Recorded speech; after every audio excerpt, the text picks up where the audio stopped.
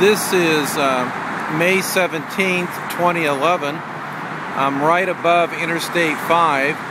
I'm looking at northbound traffic going from Seattle up to Canada.